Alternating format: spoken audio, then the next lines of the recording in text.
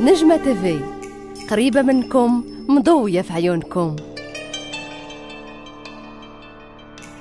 المنتخب المغربي بلا شك بأنه المباريات اللي لعب خاصة في إقصاء ديال كأس العالم فكان ظهر بواحد الوجه مشرف جدا كان منضبط تكتيكيا وتقنيا وكذلك كان حتى ذهنيا كان في المستوى.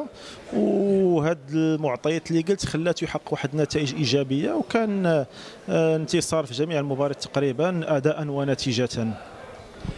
شنو شنو الفرق ديال المنتخب ديال التسعينات والمنتخب ديال دابا كونك انك شاركتي في كأس العالم في 98 شنو الفرق اللي كيبان بين المنتخب؟ كان ما كاينش شي فرق كثير بالعكس كيبان لي أنايا المستويات متقاربة. غير الجيل ديال 98 ديال التسعينات 94 98 خاصة 86 فكان أغلبية ديال اللاعبين كانوا خرجوا من البطولة المغربية.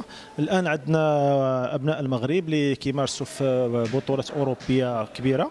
وهذا عطاهم حافز لأنه ما عندهمش أول شيء ذاك الخوف وذاك الضغط آه، لأنه كيعيشوه وعاشوه في الفرق ديالهم الأوروبية. وبالتالي عطاو النتائج مع مدرب اللي عنده الخبرة في خاصة في الأجواء الإفريقية. وكنظن بأن المنتخب المغربي الحمد لله غادي على خطى جيدة لحد الآن. كلاعب دولي سابق كيف جاتك المجموعة اللي جات فيها المغرب؟ إسبانيا البرتغال وإيران. لا على إسبانيا والبرتغال ورقة مكشوفة.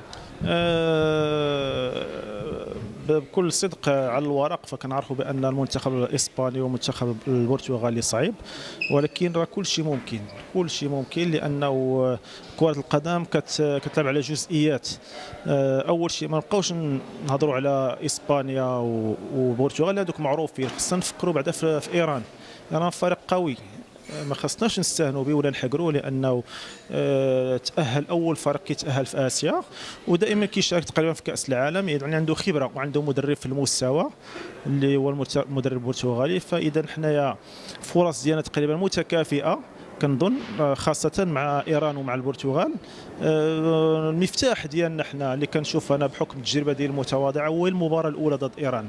فإلا إن شاء الله حققنا فيها نتيجة إيجابية فكنظن غتفتح لنا الباب إن شاء الله باش نلعبوا بواحد الأريحية ضد المنتخب البرتغالي وكذلك ضد المنتخب الإسباني. آه شنو هي الحاجة اللي بقت محفورة في الدين ديال صلاح الدين الباصري في المشاركة ديالو في المونديال في 98 آه بلا شك فإنه كل واحد كي كيطمح إنه يكون الحلم ديالو يشارك في كاس العالم فالحمد لله شاركت فيه ولكن كان الحلم أكبر من اللي سجلت فيه هدفين.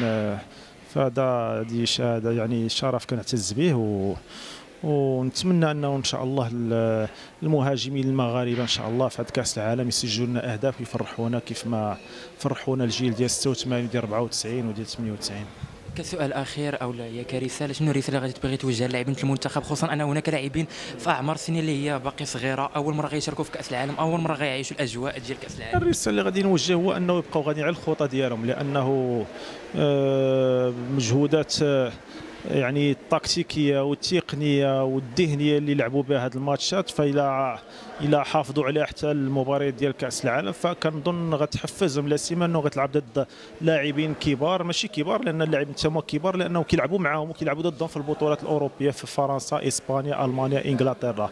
اذا ما عندناش هاد هاد كيف كنقولوا التخوف يعني هادو كيلعبوا فرق كبار. لا حنا عندنا لعابة كيلعبوا فرق كبار.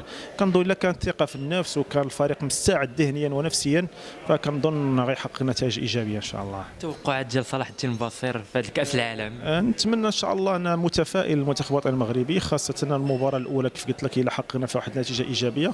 فغتفتح لنا إن شاء الله الباب للدور الثاني بإذن الله.